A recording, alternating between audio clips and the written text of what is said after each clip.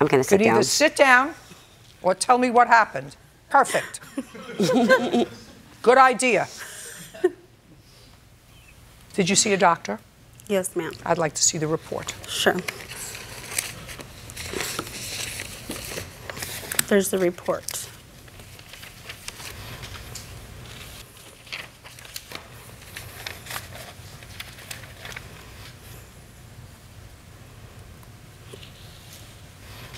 Okay. Go. Anytime someone comes over, I do, Don't, I'm not interested Okay. in any time someone comes over. I put my dog up anytime somebody comes over, and I put him I in my room. I don't care. Okay. October 16th. Okay. Your roommate is doing the plaintiff's hair. Correct. You have a Rhodesian Ridgeback. Correct. Did you see what happened when she got bitten?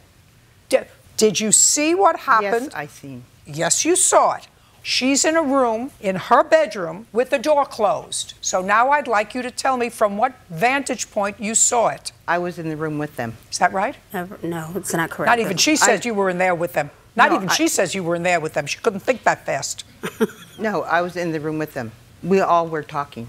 And Okay, I was in the room with them, and I put my dog up like I always do, and I lock him in my room or shut my door, keep him in there, because I know he gets, you know, excited when he sees one. And then I left the room for a minute. Okay, when I left the room, I went into the kitchen.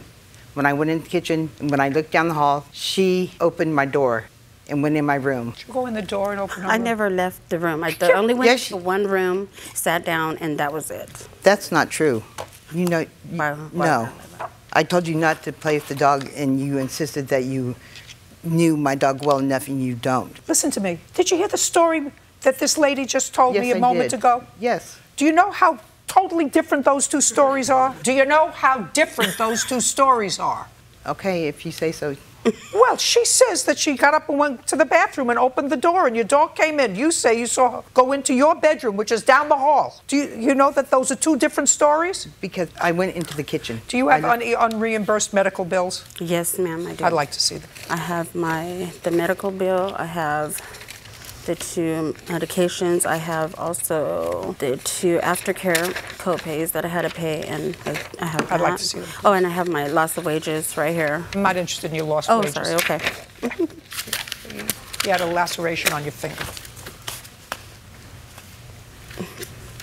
How many times did you go to Kaiser once? I went there three times. I had two aftercare that I um, had to go to to take the stitches out for wound care two days later. So I went total of three times. Ma'am, can I just add one thing? Yes. I mean, when I said loss of wages, um, I've never missed work before, and it was because of the dog bite I had to miss. And I have the work note right here from the doctor saying that I could not go. And like I said, I never missed work ever before. How many stitches did you have? I had six, and I type and I work with my hand all day. I could not go to work. How many days did you miss of work? Two days, ma'am, and I have my pay stub and the I'd like note to from the a look at doctor.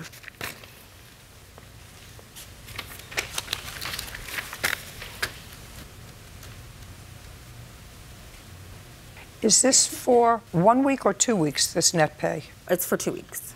Anything else? Judgment for the plaintiff in the amount of $1,000. We're Thank you very Thank much.